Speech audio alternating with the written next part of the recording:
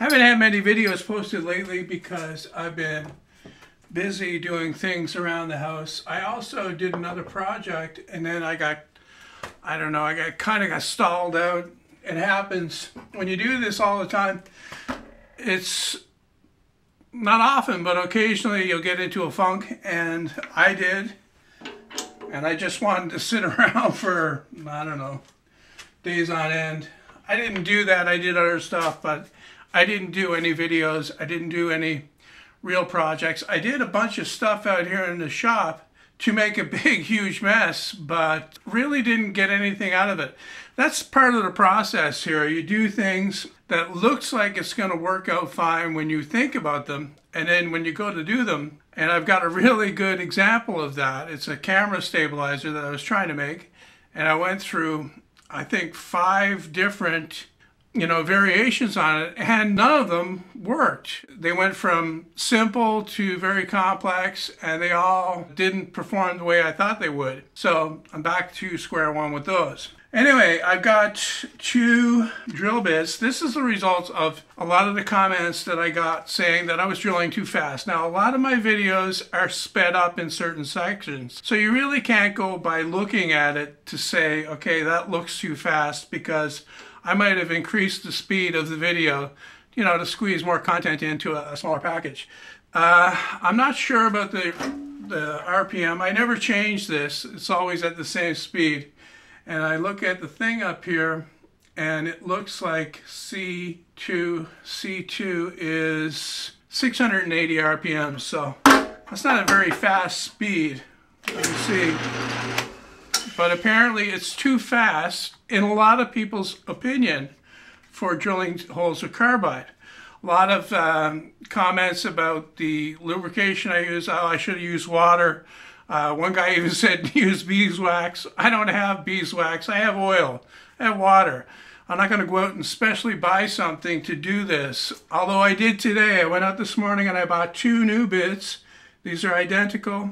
These are 3 sixteenths of an inch. I intend to use them right out of the package. I'm not going to sharpen them to drill two holes into this broken off file. Most of the comments were for slowing the speed down. I did get one comment from a viewer that I know has a lot of practical experience and he said you should actually drill faster and do it dry. So I'm going to try fast and dry with one bit and slow and lubricate it with the other. I'm just going to use oil again but I'm going to slow the speed right down as slow as this uh, drill press will go. And for this one, I'll go as fast as the drill press can go and see how they perform. I also got a couple of recommendations or a couple of comments saying that glass drills work, so I bought one of those. This is considerably more expensive than these ones though. These ones are like four bucks each. This is uh, over 10, almost 12 bucks. So well, three times as expensive. The idea of the original video was to show using stuff that you might have on hand. You know, if you're handy around the house or whatever, a lot of people have those uh, carbide bits sitting around. They might have bought them with a set of drill bits that you get on special, you know, at different places. And it's just an idea that you could do this with that if you needed to. It wasn't about buying this specific brand of drill bit or this specific type of drill bit to drill the hole. It was about making do with what you have. And that's what I do a lot of on my channels. That's what I do a lot of here in my workshop. So you're getting reality there. I slowed down the speed on the drill press to the lowest speed it will go to, and that's 280 RPM. Uh, for lubrication, I'm just going to use 3-in-1 oil. I'm going to spray it on the bit and on the file itself. Like I said, the drill bits haven't been sharpened. I took them straight from the package put them in the drill because that was another comment I got. Well, you don't need to sharpen them at all. They'll drill it without doing that. The other comment about going low speed was apply constant heavy pressure. Don't let up. Don't back off because that's what will you know, dull the bit. Okay, well this is definitely slow. It doesn't seem to be cutting at all. I'm putting on a lot of force too. Okay, well, I'm not impressed. It uh, went, you know, in about, I don't know, ten thousandths of an inch. and I was putting a massive amount of force on it, pushing it down. And look at the bit and see, yeah, the carbide is actually completely worn flat on the end here. I'll get a picture and show it. I turned up the speed on the drill press to 3,000 RPMs. That's the fastest this machine will run. And we'll see how this works out. I think the biggest problem for going fast might be that even though the carbide can withstand the heat, the brazing that holds it into the steel shank of the drill bit might fail.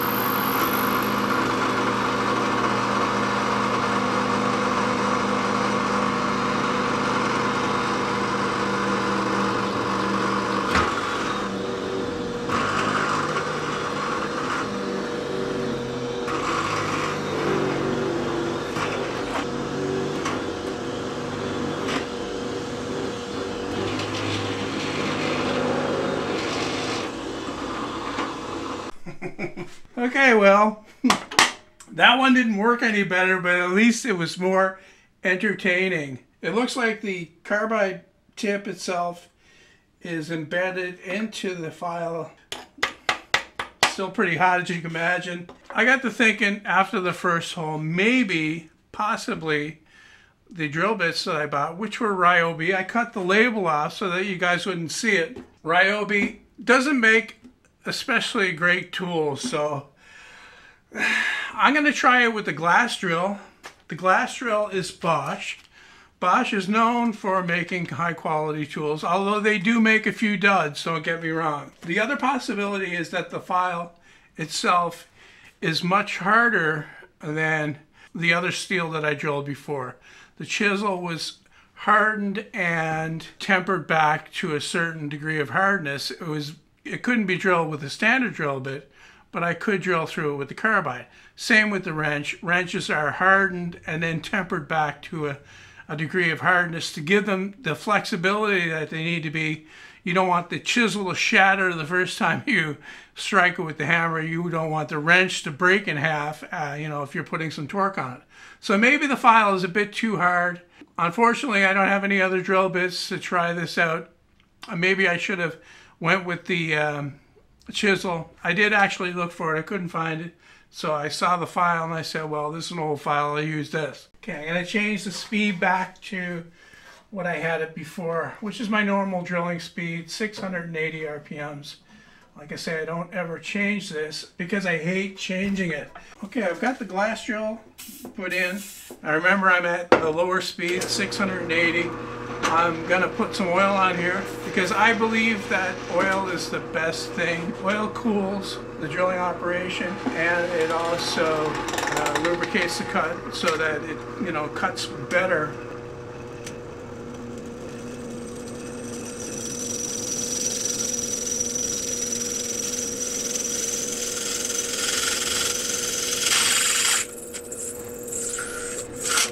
Okay, made it through. It actually punched through the last little bit. I'm going to take it out of the drill press. Hopefully it's not too hot. That's not bad. The carbide that's in the bit is destroyed, but it still did some drilling action. You can see actual shavings coming out of there, and it did make it through, obviously.